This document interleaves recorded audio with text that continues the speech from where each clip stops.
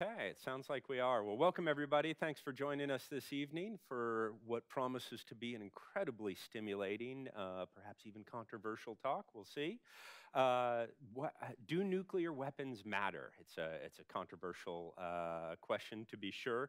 My name is Curtis Brainerd. I'm the managing editor at Scientific American. Um, I am particularly thrilled to be here tonight. This is really a first of its kind event between uh, Foreign Affairs and Scientific American, and uh, just couldn't be more pleased about the subject that brings us all together today, um, because this is an area around which uh, both magazines have a long and proud and distinguished history. Scientific American was founded in 1845, if you can believe it, a full century uh, before the, the, the, first and only nuclear weapons uh, were ever used in, in warfare. Um, and um, we have published uh, throughout the atomic age. Um, in fact, uh, you know, this gave me a, I'm always pleased to have an opportunity to dip back into Scientific American's archives um, and was, was so pleasantly reminded that um, uh, folks like Ernest Rutherford, uh, who, who first split the atom, wrote for us uh, just a year before that, that tremendous feat. Otto Hahn, Hans Bethe, um, Niels Bohr, you know, these, these, these towering figures of the atomic age from the early to the mid 20th century who, who charted the course uh, that, that, that, we're still on today have all uh, graced the pages of, of, Scientific American, and this continues to be a major focus of coverage uh, for our magazine today. Um, and of course, uh, the same is true of, of, foreign affairs, a central pillar of uh, coverage here. And what, what really brings us together is, of course, this outstanding cover package in the November December issue, um, again with the uh, provocative title Do Nuclear Weapons Matter? So, um, Gideon, let me uh, start with you. Uh, well, actually, so let me let me introduce our panelists first. We have Gideon Rose, the editor of Foreign Affairs. Uh, next to him, Elbridge Colby, the director of de the defense program at the Center for a New American Security, who served as the U.S. Deputy Assistant Secretary of Defense for Strategy and Force Development across 2017, 2018. And finally, uh, to my immediate left, Nina Tannenwald, the director of the International Relations Program at the Watson Institute for International Public, uh, and Public Affairs at Brown University in Rhode Island.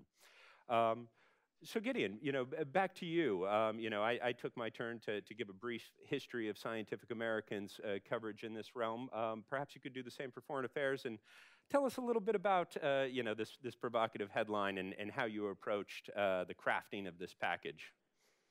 Thank you very much, Curtis. It's a pleasure to be here, and it's a delight to be able to um, have this panel and to do this collaboration with Scientific American. When I was in graduate school, the Bork hearings came up, and I was I had to teach uh, uh, American politics um, to undergraduates, and I was teaching court cases, and I was very curious about this whole question of is he in the mainstream or not, and I read all this stuff, and I realized that although there were many, many, many people who felt that Bork was not in the mainstream, he was they all had different reasons for thinking that. And so instead of having it be like lots and lots of people opposed to one small one, it was actually a much more interesting fight about what how should we interpret constitutional doctrine? And I always remembered that. And when we were thinking about nuclear weapons, the iconoclastic take of someone like John Mueller, who, whose piece leads the issue, um, that these things are completely overblown, that both the hawks and the doves who assume that everything is balanced on a hair trigger and that we're one step away from being conquered or being blown up or blowing up somebody else, that in fact the lived history of the nuclear era has shown that things are much more robust and much less uh, uh, easily blow upable than, than many have assumed. This was his argument. Everybody's reaction to that kind of argument is, oh my God, of course that's crazy. Of course that's ridiculous. Everybody can agree that it's wrong. But if you start picking apart the arguments, they disagree for very different reasons. And so the simplest way that I would put what we were trying to do in this package is if you take John Mueller's argument and Nina Tannenwald's argument and Bridge Colby's argument, no three of them can be correct, right? No two of them can be correct, even, right? You have to sort of pick one of them. And so you can't just say Mueller's wrong, but I don't really agree with this one because uh, each of them has a different kind of thing. And so what we did was we tried to portray everybody who dealt with nuclear issues during the Cold War knows that after, when the Cold War ended, the nuclear file just got shoved to a back burner. And nobody stopped, kept talking about the issues. The academy largely forgot about it, the policy. And so two worlds emerged a world of actual normal foreign policy and diplomatic affairs and military affairs in which this stuff went forward, the normal business of world politics, order maintenance, international relations, and so forth. And then the nuclear world, off on its sort of little side things with people who were specialists in that, who obsessed about that, who felt that was the most important thing, and who basically felt that they were keeping the world from blowing up. But the two worlds increasingly didn't talk to each other, and the debates among the nuclear crowd sort of essentially never got solved. And so we decided, gee, it's been decades since the end of the Cold War. What really is the significant uh, learning that we've achieved? What are the key questions? And how important are nuclear weapons and what should we do about them? Because the origin of this came in the spring when I got really, really pissed off at all the Korea stuff. Because basically, we were all told during the course of the last you know, year and a half that the world is about to blow up. We have to throw everything we're doing out the window and rush to make sure that North Korea can't get a slightly additional bit of increment with its nuclear and missile programs and that this was so important that we should even risk going to war. And the only question was should we go up to the brink of war and hope they back down, or no, go all the way and do it first? And I'm thinking to myself, wait a second, I am not at all clear, and I've got a PhD from Harvard and looked at this stuff, what the actual added value of a little bit of technical improvement in the North Korean missile and nuclear weapons programs uh, represents and why that's such a great danger. We know they went to war. We went to war over Hawaii. Why do we need to? Why do we care about Maine or or uh, Seattle? And uh, we know we'd go to war over Japan, so why do we even necessarily care about Hawaii? And what exactly is the added difference? And I realized that there were no good answers. There was just the nuclear crowd of either side coming and saying, you have to pay attention to this, and this overrides everything. So we decided to do a package that would essentially say, no, everybody make their case for why this is important or not, and what should really be done. And so we assembled essentially an all-star collection. Okay, Nina Tannenwald makes a wonderful argument for the classic kind of case saying that you've essentially been luckier than we should have, and that all I'm talking about is sort of complacent uh, luck, or, or we've gotten by, but it's not assured, right? Bridge represents an entirely different kind of argument that's similar in its structure, but on the opposite kind of view.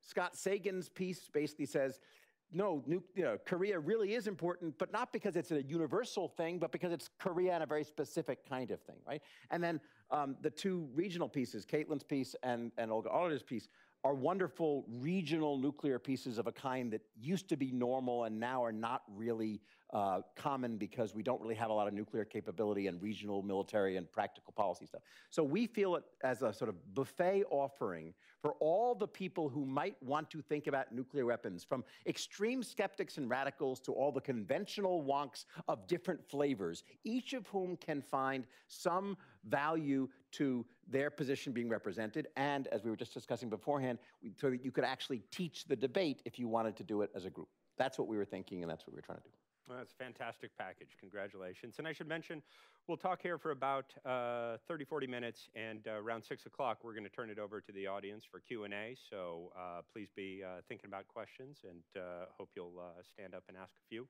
at the end of the time. Um, so Gideon, um, you know, you really set us up nicely here. I mean, you know, the, the fact that, that no two of the authors in this outstanding package can be right, notwithstanding, I think that one thing that we can all agree on here today is that a lot's changed in the last 10 years, um, and that um, the specter of nuclear conflict, as, as you have you subscribed, has, has come back to center stage. And so um, what, I'd, what I'd really like to know is, you know, after so many years of detente, what happened?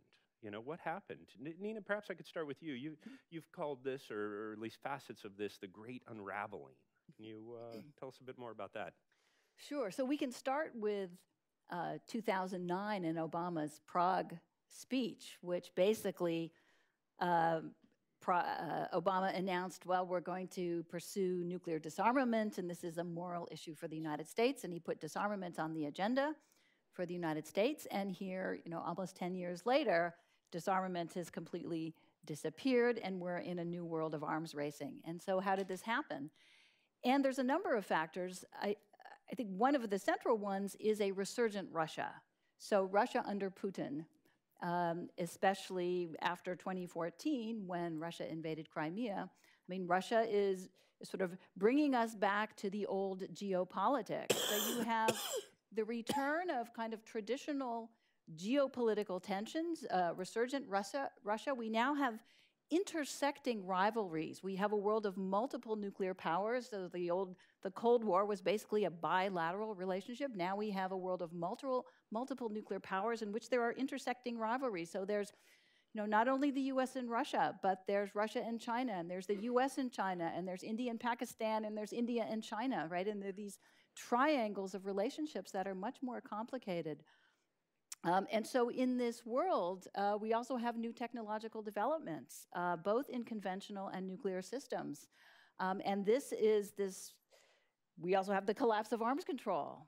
Um, and so you put all these things together and we have a much, um, a much tenser world. I think the rivalries are more severe. Um, and we are, we are less confident about uh, traditional arms control as a means for dealing with these rivalries. Thanks, Elbridge. Great. Uh, well, thanks, Curtis, and thanks, thanks, Gideon, uh, for the invitation and participating in, in the debate. Uh, it's a real pleasure. Um, I'd say there's fundamentally uh, a, a, structural explanation. The uh, Russia is sort of the more pointed reason that, that uh, nuclear weapons have reemerged in the international security environment, but China is the more fundamental structural shift. Um, fundamentally, the post-Cold War world was one in which the United States was kind of the unipolar or sort of hyperpower force, as the French foreign minister put it back in the 90s. So um, neither the Russians nor the Chinese nor anyone could pretend to actually take on the Americans with respect to our uh, allies or established partners in a way that would kind of plausibly allow them to attack uh, uh, those, those protected allies, which, by the way, in the Cold War had been the, the fundamental uh, uh intellectual and strategic challenge that had foreign affairs had, had played such an important role in. Um, so, you know, two, two basically things happened. Uh, first, or kind of, if you think about it, um, the Russians uh, grew alienated uh, progressively by the post-Cold War order. You could kind of maybe start with Kosovo, some extent NATO expansion, Georgia, and then finally 2014. And they de essentially developed a military that, unlike the Russian, kind of uh, moribund Russian military of the 1990s, was able to present a plausible theory of victory uh, against uh, the new U.S. allies in Eastern Europe. And of course, there's a, there's a profound alienation, particularly after 2014, but in some senses uh, uh over the last uh, 10 years. And the Russians have emphasized nuclear weapons significantly in that plausible theory of victory because they are so much weaker than the United States and NATO they can present a local threat and then seal the deal with nuclear weapons, as I kind of lay out in the piece.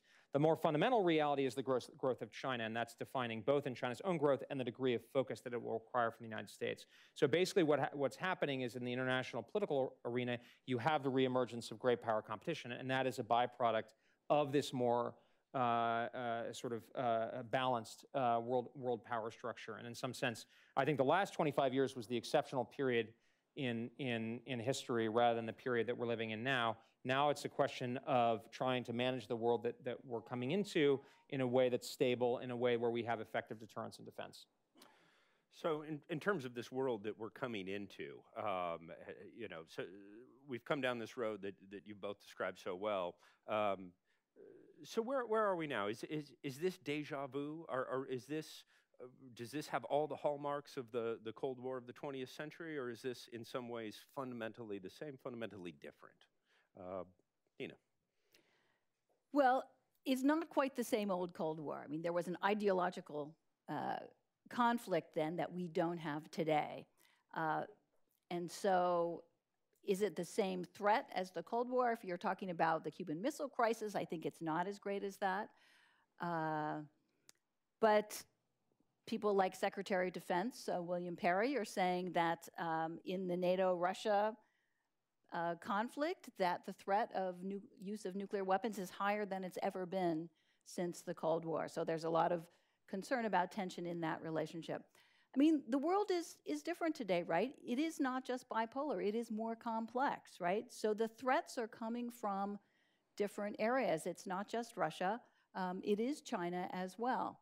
And right, so it's not simply the bipolar relationship that the United States has to focus on, but a much more complex array of threats. And if we throw in non-state actors into that, um, that's quite a complex mix, and that makes it much harder to figure out, you know, who you're deterring, where you should be focused on, how we deal with Iran and North Korea, while also deal, dealing with China and Russia, and then uh, reassuring our allies. So it's a, I think it's a more complex uh, picture than it was during the Cold War. I'd say there, it's different from the Cold War in some sense. Again, the Cold War was the unusual period in human history. I think the kind of the post World War One to the end to 1991 was in hi, a highly ideological uh, uh, sort of period in human history. And you've had periods like that, like the confessional wars of the 16th, 17th century, the French Revolutionary Wars, but most, probably most periods of human history are defined by interstate competition that is not as overtly or not as kind of saliently ideological. And I think that's the kind of area that we're likely entering into where ideolo ideolo ideology is a component but not as defining as it often seemed to be uh, during the Cold War. And I think there are two fundamental differences.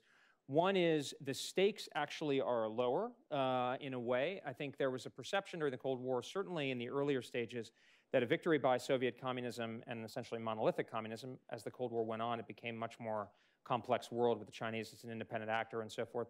But I think there was a perception that victory by, by Marxist-Leninism in Europe and so forth would be a defining kind of irreversible uh, a defeat for kind of you know human civilization and so forth. Today, the Russians and to some extent the Chinese, it's much less clear that their ability to assert their dominance or hegemony over, over kind of the, the regions in question, the Western Pacific and Eastern Europe, are so significant, which, by the way, actually makes war potentially more likely. The other thing that does that is actually the nuclear weapons are much less salient than they were in the Cold War. During the Cold War, there were 40,000, something like 40,000 nuclear weapons on both sides, 30 to 40,000. There were thousands of nuclear weapons littered all over the, the European landmass. So basically, there was no way, now there was a lot of thinking. Uh, one of the reasons I think John Mueller is, is wrong although he's, you know, he has a point. Uh, the, the balance was not as delicate as some people say. But one of the reasons he was wrong were there these continual imagination of wars. There were imagined wars that were going on. If you look back and you read the pages of Foreign Affairs, people were thinking about it. They were worried about it. That's why it didn't happen. Uh, and that's one of the reasons I think that we need to get back to what I call Cold War thinking in the best sense, which is we think about it and then it's unlikely to happen rather than ignoring it, which makes it more likely.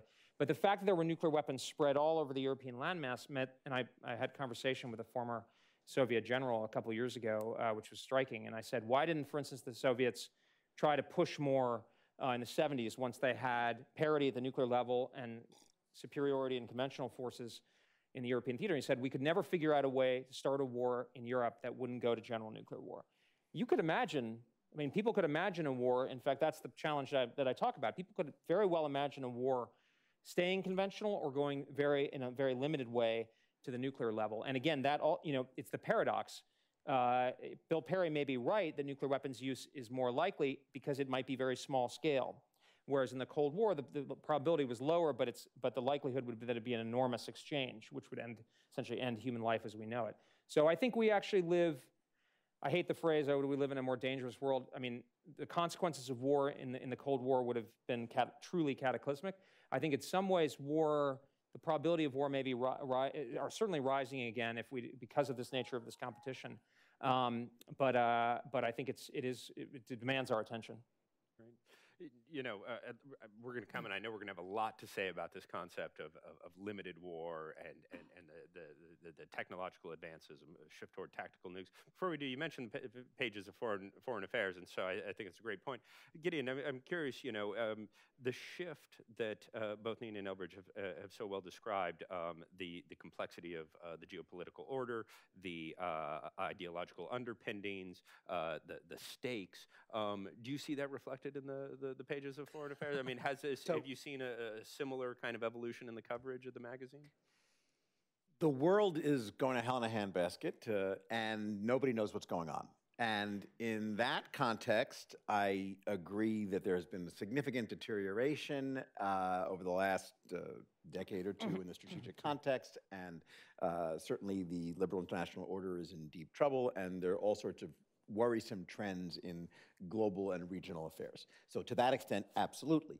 Uh, how much of that is connected to or dependent on or related to the nuclear file, I have absolutely no idea. And I have no reason to believe that it's significant and that it had no reason to believe that it will affect the nuclear file one way or the other. I don't think the odds of a nuclear use are greater now than they were five years ago. I don't think they were greater now than they were 20 years ago. I think they've been very low for a very long time because it's been very clear that nuclear weapons are good for one thing and one thing only. If you're a rational person, which is essentially giving you a get out of jail free card for your regime from external attack. When you have them, you will not be deposed in a war for regime change. When you don't have them, you are open to it. Look at Gaddafi, look at Saddam, look at other kind of things. If you have them, you don't get attacked.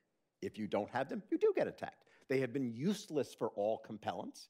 The, have, the extended deterrence has either worked or not been, eh, at least it hasn't failed.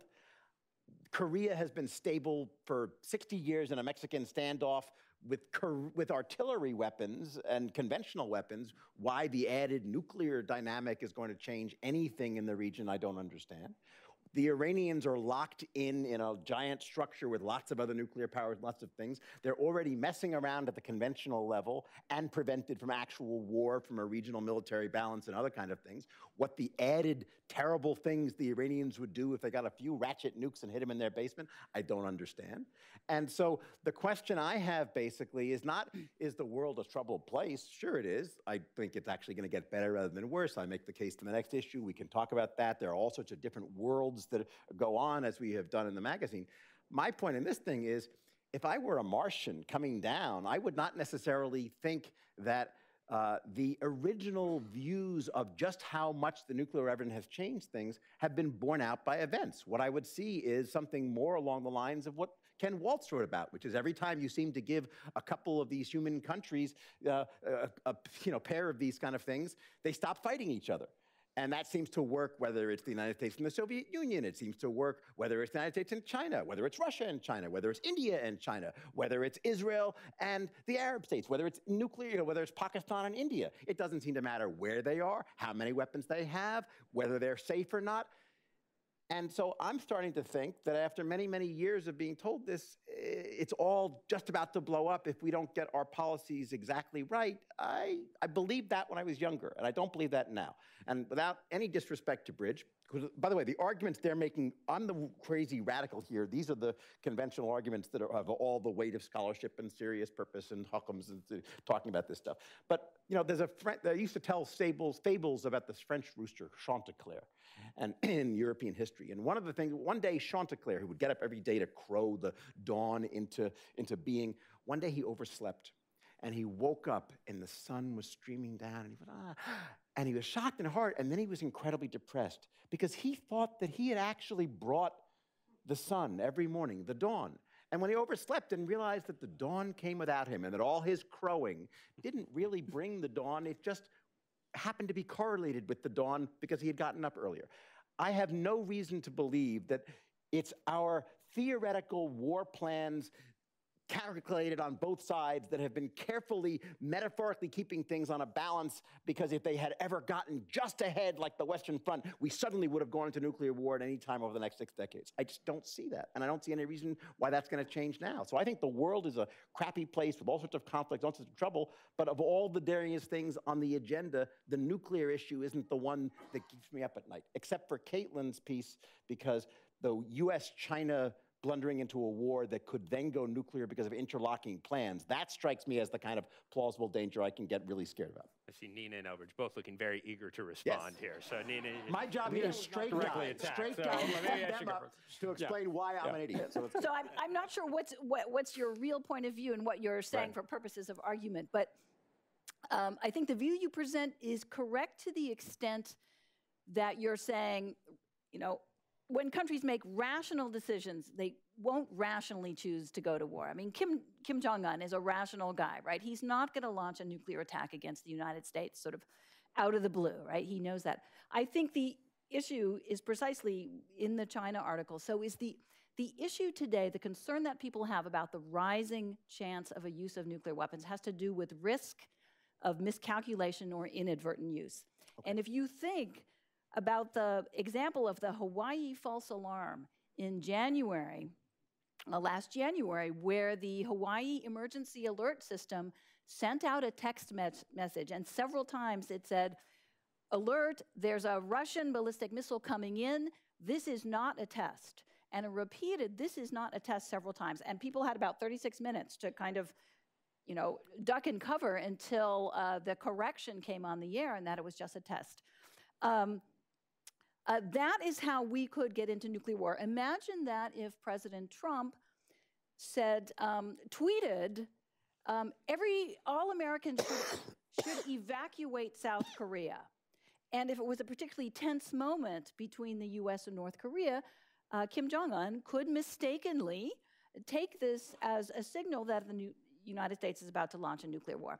So I think the China article in the issue uh, is really good at uh, discussing where the new risks come from. And they come from the entangling of nuclear and conventional capabilities, dual use capabilities. When you have a cruise missile that can have a nuclear or a conventional weapon, or like in China, where they have their nuclear subs and their conventional subs operating in the same control system, um, operating near each other, that if the United States attacks China intending only a conventional attack, uh, China may lose the ability to control its nuclear submarines.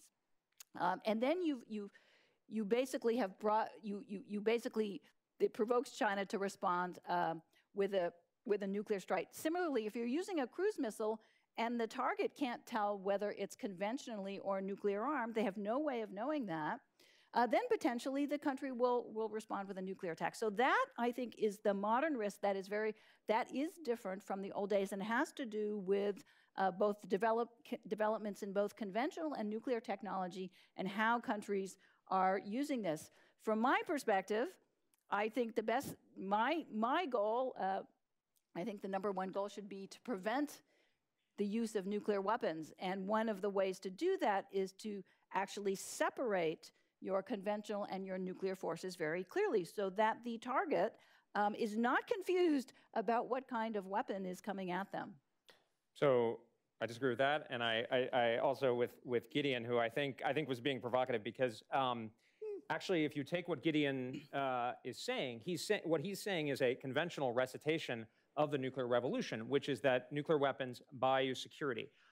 All you have to do is assume that an irrational actor has that and then may have revisionist or revanchist uh, objectives and then may think about how they can use the caution that is created by the nuclear revolution to actually achieve their objectives. So as I, say, as I write in my piece, it's not that the nuclear, I think it's a, it's a fallacy to see the nuclear as a kind of independent domain. I think Gideon's absolutely right. There's a famous article that ran in Foreign Affairs called The Delicate Balance of Terror. Now, there was more to it then because of basing structures and so forth. But I agree, the, the, the strategic balance is quite indelicate, and I actually make that point, and that's why I go after what I call the superhawks. I differentiate from their position. I think at the strategic level, the balance uh, between states over the possibility for a massive nuclear exchange is extremely resilient. That's why I disagree with Nina. I think the you know accidents, risks, these kinds of things are very important, but actually that's that's that's not the most significant significant challenge. The most significant challenge is a state that listens to Gideon and says, ah, if I have nuclear weapons and I move, I've created a new reality. And by the way, if you go back and you read Ken Waltz's famous argument, I believe with Scott Sagan, he doesn't know how to deal with the Iraq problem. If, if Saddam Hussein had attacked Kuwait with nuclear weapons, Gideon's, uh, Gideon would be checkmated. So that's what essentially what, the, what I'm worried about with the Russians. Wait, give me a second. That's what they're dealing with the Russians, right? Is the Russians, the Russians aren't going to say, I'm going to blow up America first. What the Russians would do, and this is the escalate to de-escalate doctrine, is they're going to confuse the issue with their little green men, say in the Baltics or something like that. Then they're going to move in with their conventional forces, which is going to seem very legitimate. You know, it's going to they're going to shape the dis or confused, right? And there's very little that we can do uh, if you look at say what the Rand Corporation has done. And then they're going to use the defensive aspects of the nuclear revolution to deter an American counterattack that would be necessary, the, the, the vicious, broad uh, attack. Now, that is the challenge, and a wholly rational actor only if you think rational actors are extremely cautious would you, would you be sanguine with that interpretation of the nuclear revolution.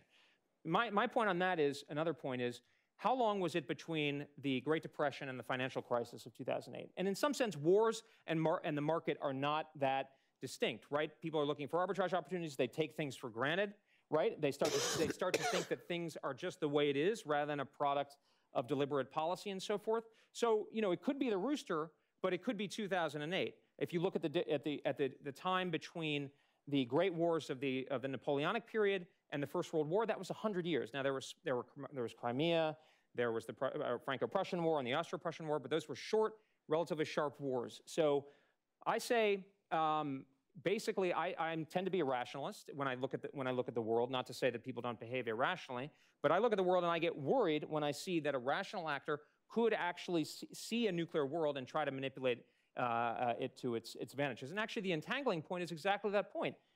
Often, states would entangle precisely to create the kind of caution. If you're so worried about nuclear risk and misperception, for instance, for instance, if you look at what the Pakistanis are doing. By the way, the Pakistanis states sometimes start wars like, you know, the Egyptians in 1973 or you know something like that, or or Bismarck's wars.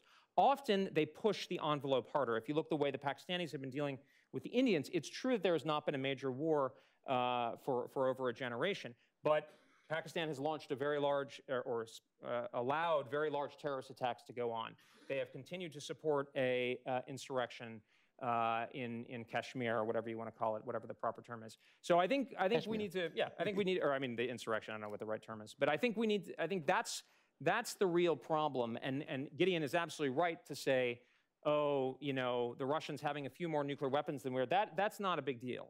What's a big deal is this, this particular problem where, where states could have a rational theory of victory for going after us. Okay, I actually think, by the way, first of all, this is why you go to grad school to enjoy this kind of stuff. No, and this is this is the best discussion of in plain English of contemporary nuclear policy that I've been to in ages. So it's really fun, and this is why we did the package and why we did the event because we aren't having these kind of discussions, and we should. That said.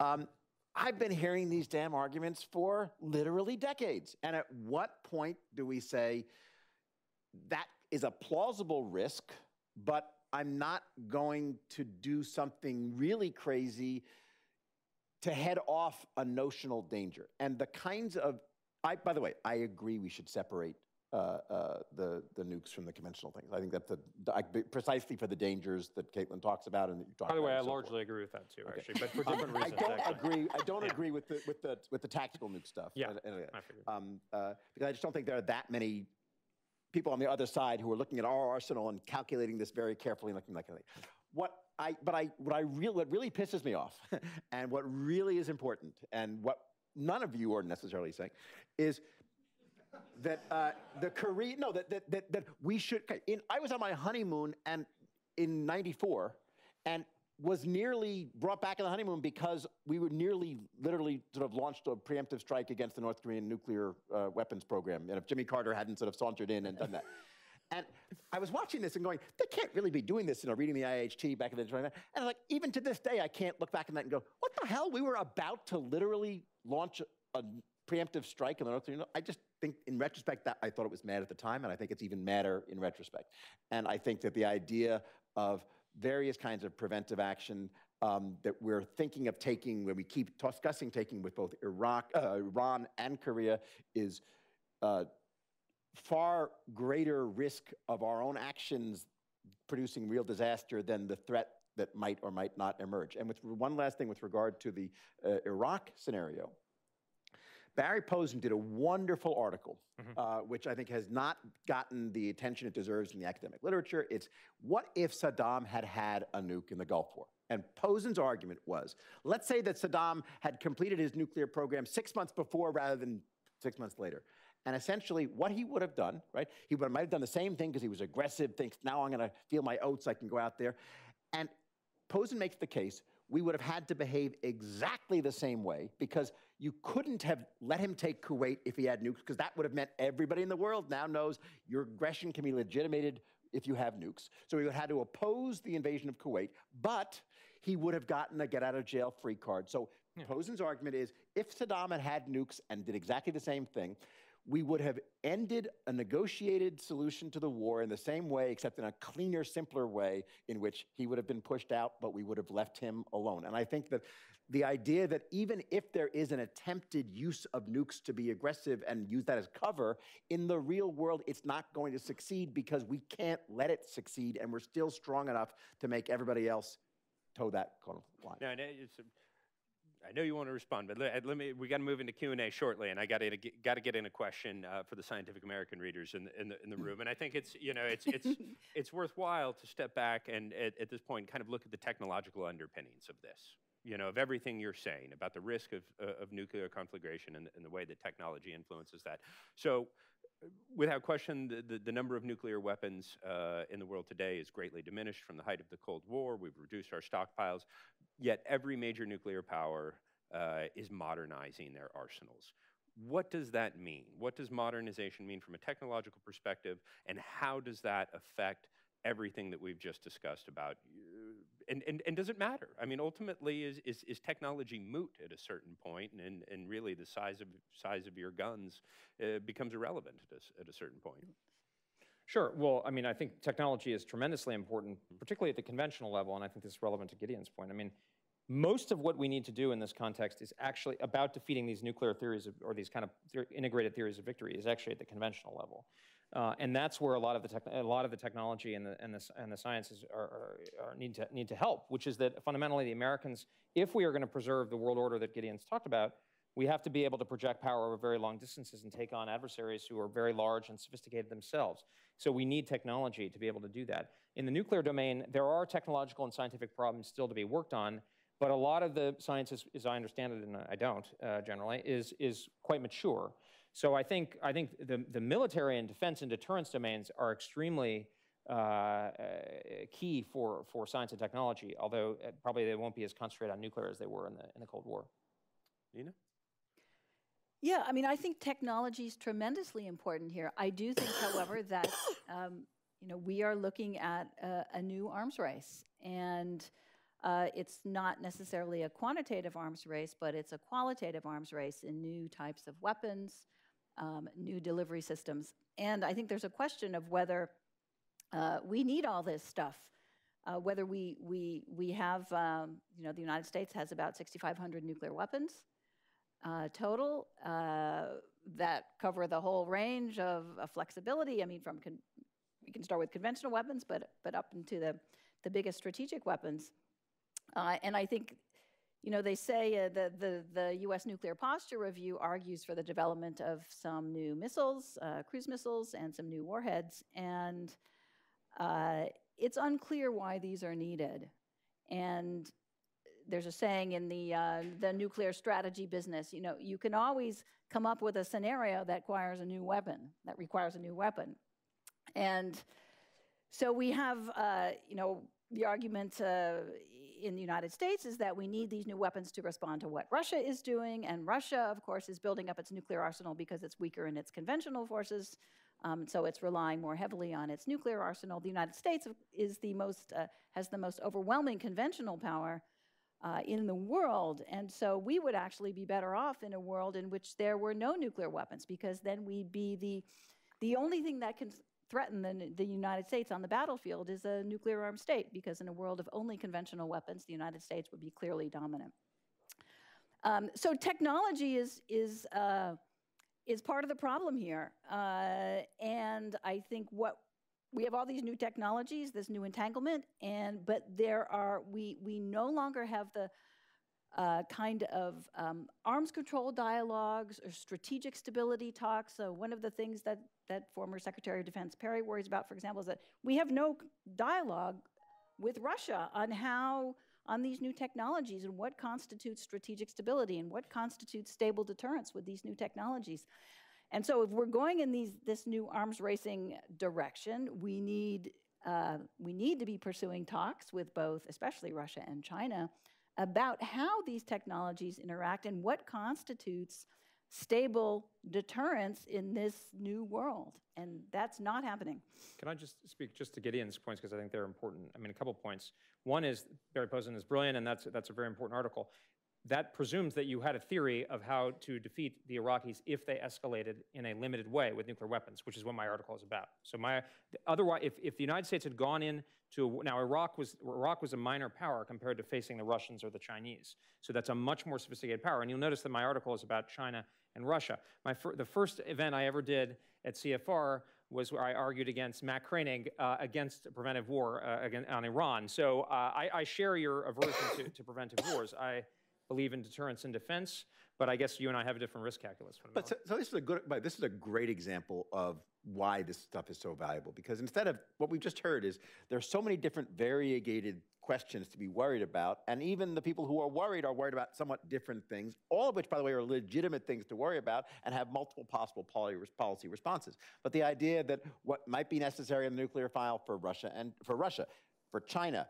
for Iran, for states that don't even have it, for our own policy. Those are all sort of separate little kind of things, and that's really just an interesting point. I, by the way, am scared shitless over technology, but it tends not to be in the nuclear area. So, for example, your point about the alert, there's an article in the next issue um, about deep fakes Mm, and mm, talk about mm. like scary stuff because uh, I guess what I would say is the nuclear weapons don't bother me these days because I don't think they're going to go off if we keep them nice and safe. The other kinds of manipulation and strategic interactions that technology will make possible and the ways that will screw up warfare and strategic interactions, uh, we're going to a very deep new world. My only point is it's not clear to me that sort of nuclear. I, 3D printing a, a virus and, and uh, uh, uh, or genetically engineering some new kind of thing is, is will keep me up more than you know the next neutron bomb development. We'll have to come back and talk about biotechnology another time, which I would love to do. Oh, and absolutely. Let's let's kick it out to the audience. I have a dozen more questions I'd, I'd love to ask, but I don't want to monopolize. Let's start down here. I see a hand up. Uh, use the mic and yeah, just uh, quickly uh, identify yourself. Uh, Galen Gingrich. Mhm. If we keep them nice and safe, a lovely if, I take it that none of you are particularly worried that a non rational actor will stumble across a loose nuke somewhere and use it for non rational reasons uh, that cannot be deterred. If you reassure me that I shouldn't worry about that, then I'll leave a happy camper. My feeling on that, I'll defer to the real experts, but my feeling on that is there are some obvious, major, legitimate concerns that the nuclear field have come up with, whether it's, you know, uh, strategic interaction and strategic instability and bad ways of configuring your arsenals, whether it's safety measures, whether it's loose nuke controls. I think that, you know, Nunn Lugar and Graham Allison and all the things we did on cooperative threat reduction were all great things, but I think that particular, my understanding is those issues now are not nearly as worrisome as they would have been, let's say, 20 years ago. Yeah, when, were, when people were freaking out about them. You know, it's a very serious problem. I mean, akin to the bio problem, which is probably more dynamic. I mean, I think it's something that you spend, we as a society and with other civilized societies, we spend a significant amount of money to, to go after the problem. And that's a lot of what our, our counterterrorism enterprise is doing, our intelligence enterprise, and we should be implementing things like UNSCR 1540 and making sure that legal architectures are set up to What- ensure. what is that? Sorry, it's a, it's a UN security resolution from 10 years ago that basically says that people need to take greater steps to control the possibility of WMD terrorism. It is a very serious thing. But when you really think about it, the number of actors that could actually get and mount a nuclear weapon and say break the codes that could protect an advanced state's nuclear weapon, the number of people who would actually be highly irrational is a pretty, it's a, you're, you're talking about a pretty small set. It's a very, very serious problem, and we should be spending on it, but it's not the fundamental challenge of, that we face as a nation. And if they're irrational, they may not be good at like Yeah. the technical work of the bomb. Right, Think exactly. of um, No, right. Shinrikyo, right. They would have loved to get a nuke bomb, and you know their idea of a WMD attack was a, a an umbrella into a bag of sarin on the subway. That's not exactly you know the technical sophistication that's going to blow up a city. Sure, I just, I, I basically agree with that. Um, John Mueller, in, in this um, piece, um, I mostly don't agree with him, but on the terroris- terrorism issue, he's written elsewhere at great length on this. And he's basically laid out a kind of a scenario and where he argues that for terrorists to acquire nuclear material or nuclear weapons, there are about 20 veto points. Uh, and it's actually really hard. And, it, and you could intervene, a state could intervene at any of those 20 veto points um, and prevent this. Um, and it, it's really qu- quite compelling. And so I, I agree with Bridge here that, you know, we should be spending money on this, we should be doing, you know, due diligence on this, but we should not be inflating the threat here. And this, I mean, so the, the, maybe this is a good time to mention the National Defense Strategy, which really enshrines, in a way, released earlier this year. The defense strategy said that interstate strategic competition, not terrorism, is now permanent, uh, is now the primary concern of U.S. national security. And I would take it you you agree with this general direction. Yeah, well, I mean, I, I, I certainly do. Yeah, I this, mean, yeah, I, I, I would, I mean, I think the fundamental idea here is, um, you know, and I think the state's coming back with a vengeance. I mean, I think 25 years ago, people were talking about the invention of the internet, the state was going to wither away super empowered individuals. We see that's not true. You look at, at China's ability to exploit the internet, states have the ability to exploit military and economic power, and a large state like China in particular, being able to leverage its economic, political, and other forms of power, that changes the world. That changes the way things are done, and that changes our lives in a way. You know, terrorism, we've gotten used to, there, there, are, there are potential for horrific events, but it's more, I mean, this is where Mueller's right. It's, a lot of this is up to us and how, we, how resilient we are, how we respond to it. I think we should have a forward-leaning posture on terrorism, but fundamentally, that is within our power to control within a certain range. I mean, you don't get rid of you don't get rid of crime. You can bring crime down, as has happened in this city, but you're not going to get rid of it without living in a society that's unacceptable for and not, not consistent with our values. So I, I think uh, that's certainly the, the logic. And the, and the reality, I, I differ with Nina quite, quite significantly on a very important point, which is that the United States conventional military advantage, as the, as the National Defense Strategy says, as the Department of Defense says, has been eroding.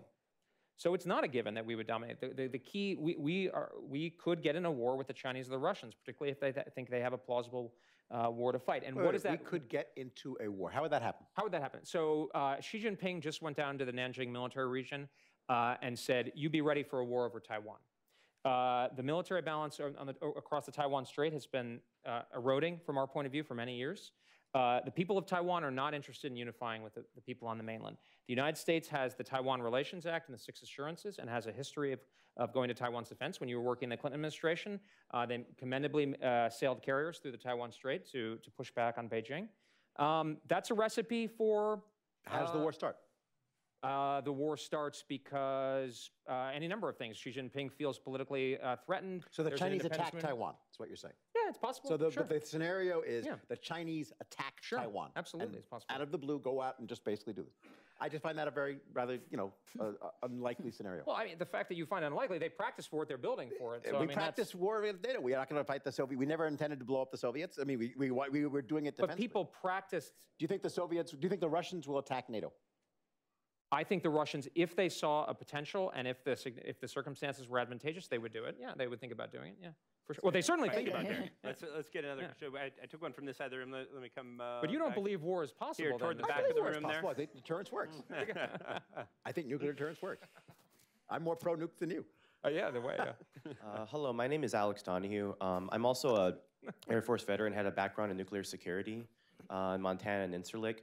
And my question doesn't necessarily pertain, and I'm a student at CUNY, uh, doesn't pertain to necessarily as a nuclear deterrent between this bilateral uh, old Cold War Russia and the U.S. and all these other things, and Pakistan and India. And my question more or less relates to security of nuclear weapons, such as let's say there was regime change or a collapse of this. I know this was a discussion during the Soviet Union when it collapses. Let's say North Korea collapses.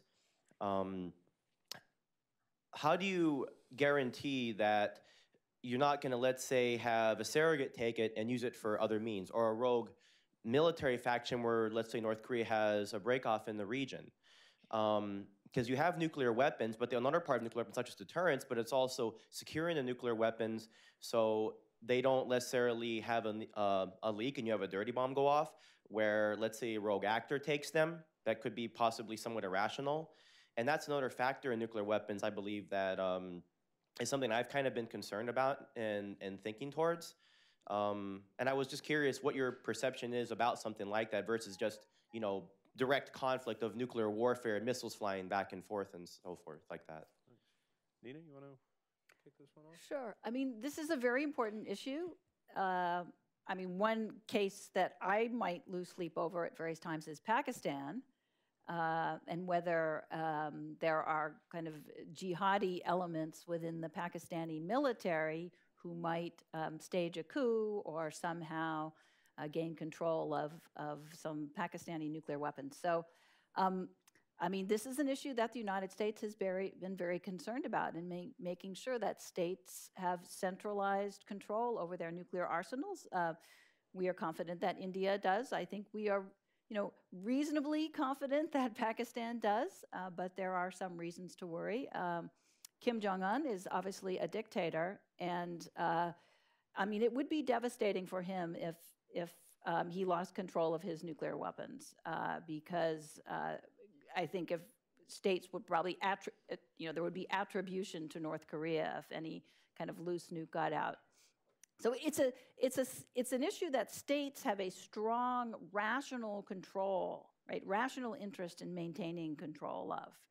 Uh, but it does remain an issue, and the Obama administration held a series of um, security summits, four summits, to try to strengthen state practices around um, nuclear materials generally. Uh, those have come to an end, but they sort of heightened the issue of safety and security around nuclear weapons. It's um, so it's a, I mean, it's an ongoing issue.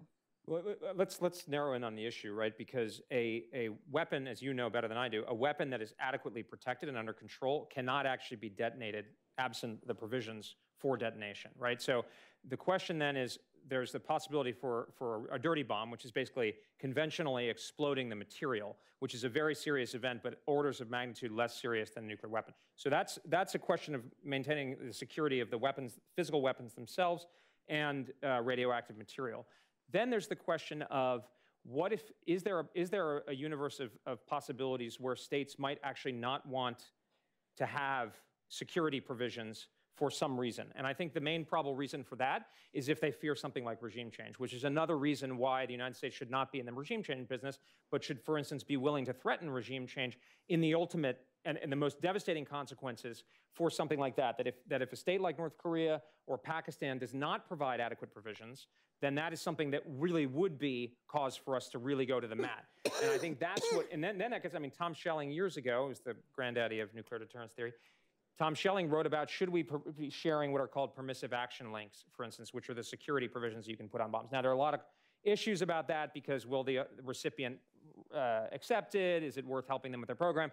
There are lots of issues, but fundamentally, a state that has the capability, to your point, sir, the state that has the capability to build a weapon is generally not going to have an interest in letting something just go go willy nilly. But but it's an important problem. But it's it's one we're work, we've worked on for many years, continue to manage.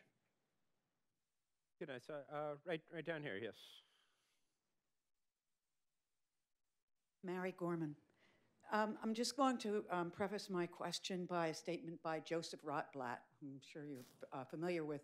He um, uh, was with the Manhattan Project, a brilliant physicist who quit the moment he heard that uh, Germany had stopped uh, developing a nuclear uh, atomic bomb, many things. Anyway, he said, For the first time in human history, we have the technological means to quite literally wipe ourselves off the face of the earth. This is largely the result of the work of scientists. This fact must be constantly reiterated. But even now, many scientists feel that the application of their work is none of their business and that they are committed to conduct scientific research for the sake of science. Some scientists may say, quote, we have the capability to make bombs that can destroy all the cities of the world, but how these bombs are used is no concern of mine. That is for others to decide, end quote. And he says, I believe that this is an immoral attitude, yet today many scientists think this way.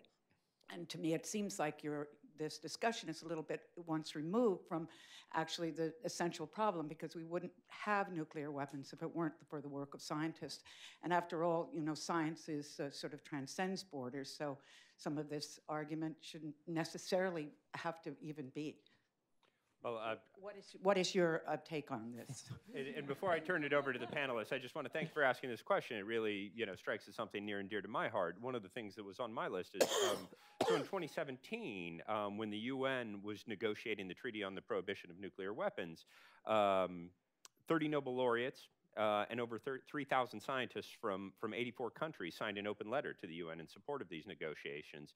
And they wrote, quote, we scientists bear a special responsibility for nuclear weapons, to your point, since it was scientists who invented them and discovered that their effects are even more horrific than, than, than first thought. Um, and of course, many of the scientists involved in the Manhattan Project and other operations were horrified in the, in the, in the height of the Cold War about the advent of thermonuclear weapons and, and the escalation in the, the technology. Um, so with that said, um, love to hear what your thoughts are here. Uh, look, there's all sorts of ethical positions you could have on this subject, and certainly there's a long and strong tradition of moral dissent on various aspects of the project, and certainly the, many of the scientists involved have every right and obligation and have felt this to be proud uh, members of the community, either dissenting or taking part in the policy process and so forth. And so everything that uh, uh, was trying to get the uh, scientists to do, uh, I think we all would agree with as being positive.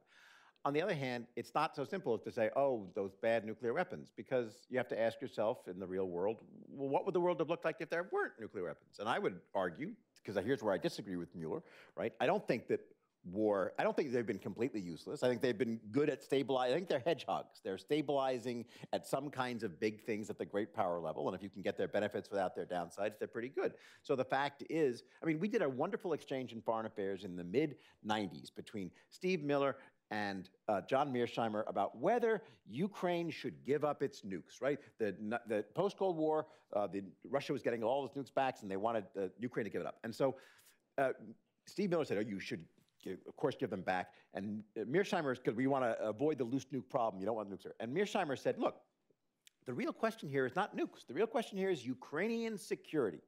Russia is a big, strong country with a giant conventional army and a giant thing. If Ukraine gives up its nukes, how will it defend itself against Russia? The answer is it'll probably have to develop a very large nationalist army on a conventional level to establish deterrence. And that would be even more provocative and difficult. So I think we should let them keep their small few nukes because that would keep the Russians at bay without having the need for an arsenal. Everyone thought, oh, Mearsheimer's crazy. And of course, we gave the nukes, the nukes went back. Everything was fine. We signed a little Budapest memorandum, didn't really mean much, and everything was fine. And then what happened? Russia basically decided, no, we don't like it. And they went and they took back Crimea. They took the, and the fact is, without nukes, you are vulnerable to being invaded by bigger, stronger countries. And that's the basic reality that is a good thing rather than a bad thing for world stability. It's why we haven't had global nuclear war and global conflict, great power war between nuclear powers. Well, I basically agree with Gideon's larger point, although I think actually, even if Ukraine had a small arsenal, I'm not convinced the Russians wouldn't have gotten away with a seizure of Crimea. This is where Barry and others are, are wrong, which is, you know, they raise good points about the difficulty of American Senate deterrence commitments, but you know, most Americans here don't want to die for California either. So at some point, there are lines that have to be drawn, and they have to, and that's the project that I'm working on here, is trying to make our alliance uh, architecture and partnership architecture uh, credible. And the reason that nuclear weapons aren't proliferated, of course, to the Japans and the Germanys and blah, blah, blah of the world is because the United States extends that defense umbrella. Uh, ma'am, I, respectfully, I, I, disagree with you that, that, nuclear weapons are, are, you know, sort of self-evidently immoral. I think morally justifying nuclear weapons is, is tremendously difficult. It's actually something I've spent a lot of time thinking about. I think there are ways of doing it, and actually that's one of the reasons for a certain kind of limited nuclear war uh, uh, thinking. But I think, you know, at, at the, this is a bit consequentialist, but at the most basic level, we have lived through, as Gideon rightly put it, we have lived through a period without great power war. I mean, the number of people lost to conventional war. I mean, you know, Nina's talking about Bill Perry's comment, which I disagree with actually militarily speaking, but he's basically talking about making the world safe for conventional war. That was the world that we lived in 1939, 1945, 1914 to 1918.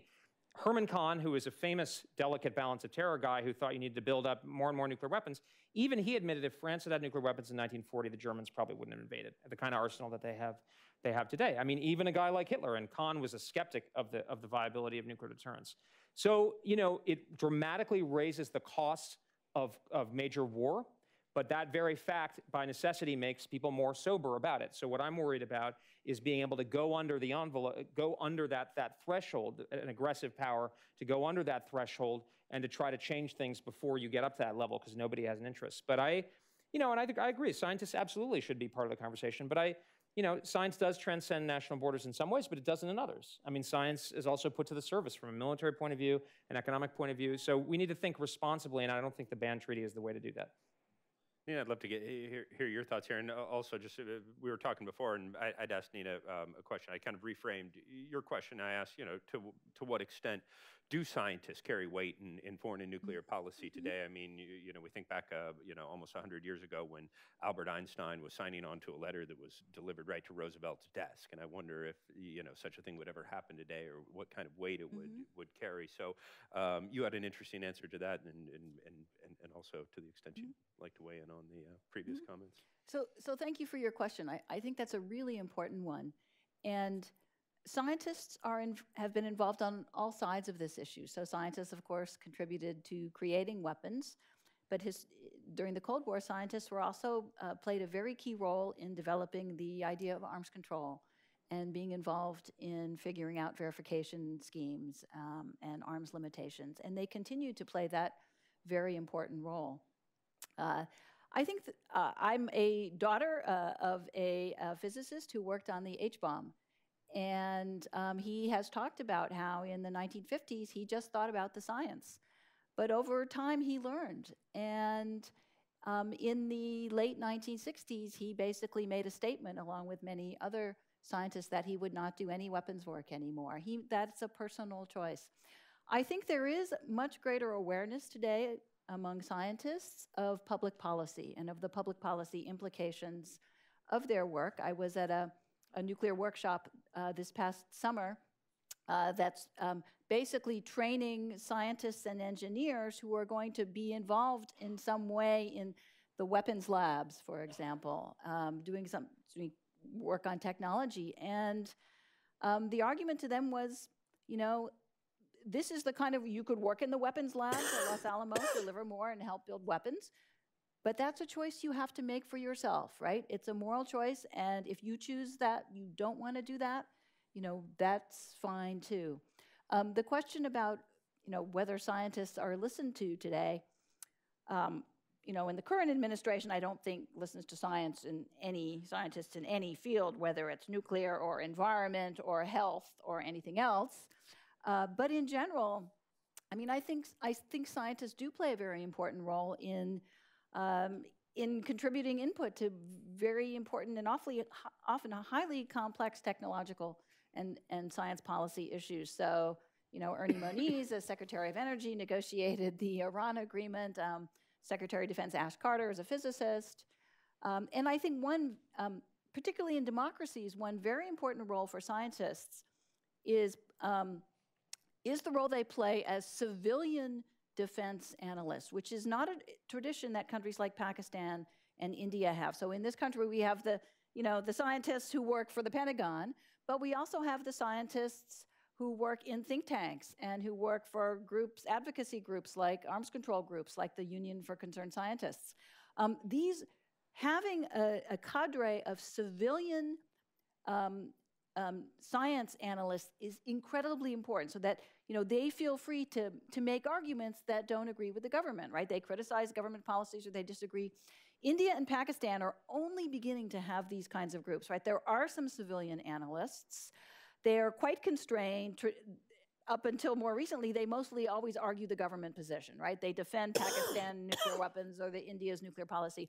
And so it's a learning process for them to, to create that cadre of independent analysts who can, who can function as a critique of the government's policies. And that's, that's a very important role that, that they, they play here and, and, and we hope will play in other countries as well.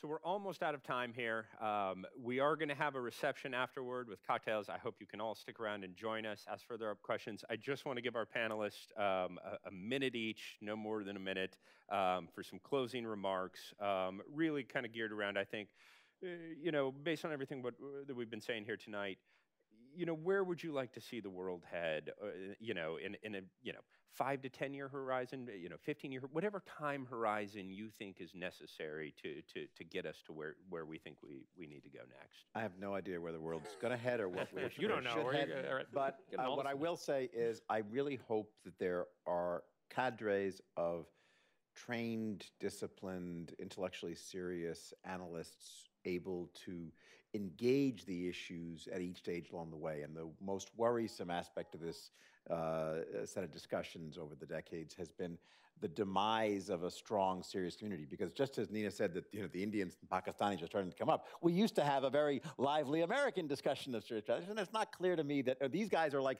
sort of they're like my diplomatic historian friends. They're they're the remnants of what used to be a great field that now is not necessarily as developed. And I wanted to thank Nina and Bridge and the other members of the package because they're carrying on traditions that it is not clear to me that we have, we're training future generations to address these questions with the seriousness that they were addressed in the past. And there's enough truth to what Bridge said and what Nina said about the, uh, the safety stuff about how there has been a lot of good work and discussion among analysts outside the state of how to deal with the nuclear challenge. And it would be very, very depressing if what used to be a good, lively American strategic community discussing these things dwindled out and faded away because nobody cared about it anymore. And so, in that sense, that was why we did the package to show people. I think the Stanton Foundation is doing yeoman work in this regard in terms of funding all sorts of. The Olin Foundation kept security studies going for a long time in the dark ages of the 90s and afterwards. And I think the Stanton Foundation is helping do that with nuclear stuff. And I, I I'm very delighted that uh, these guys and people like them are still writing and producing serious work because it's uh, it's what we used to learn from, but it's not clear that there there are, we couldn't do ten panels like this because there aren't ten pairs like this you could do it with. Um, well, I feel like uh, Balboa or whatever coming out of the Amazon or something like that, the Lost Tribe or whatever. But uh, no, uh, thank you very much for the for including me in this. Has been a great conversation. I think the kind of point I'd I'd leave you with, and I actually I worked uh, closely with a wonderful guy who was a Marine officer, won the Silver Star in, in the Middle East. And he said the difference between you and a lot of uh, senior Marines is that you think a war with the Chinese or the Russians is, is possible, and uh, many of them don't. And I think uh, you know that's the kind of the key issue. I think when you when you really get down to it is uh, in a world of nuclear weapons, could you imagine somebody not just going directly to war, but meaningfully risking war, uh, and and for some for some kind of actual rational reason and um, I, I, think I certainly could, and I think if you look at the at the military forces that that the Chinese and the Russians are building, uh, and the exercise they're doing and so forth, it signifies to me that they are prepared to potentially do that. Doesn't mean they're inveterately aggressive. If they were, I'd be really despondent. I rather I think they're they can they respond to incentives, and so if we think seriously and we continue to imagine these wars, then we're less likely to have them uh, uh, actually come to pass. And so that's what I'm trying to do. So I think uh, nuclear weapons have not been used since 1945. And this fact, this 73 year tradition of non use of nuclear weapons, is the single most important fact of the nuclear age. That these weapons used once have never been used since then.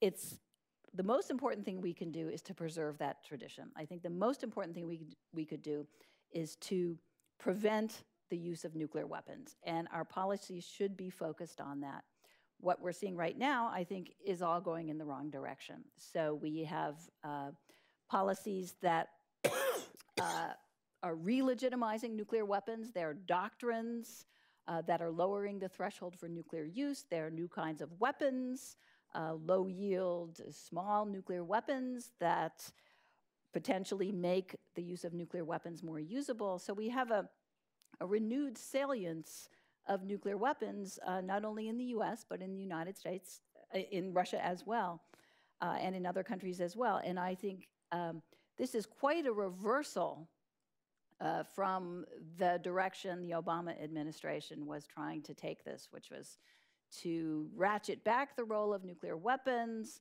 uh, to narrow the circumstances in which they would be used. He didn't quite arrive at a no first use policy, um, right? But to, to, on balance, to reduce the role of nuclear weapons in U.S. security policy, to move toward um, conventional alternatives and, and sort of strengthening the conventional component of extended deterrence. Now we're, we're really going completely in the other direction, and you know, Trump has sort of said, let it be an arms race. Um, it's going to be a world of nuclear excess, right? Where we throw off arms control limits, we're going to spend, you know, 1.7 trillion dollars on uh, weapons over the next 30 years, right? This is a, uh, the Nuclear Posture Review is this enthusiastic embrace of an arms race. And this, I think, is a very dangerous direction to go in. And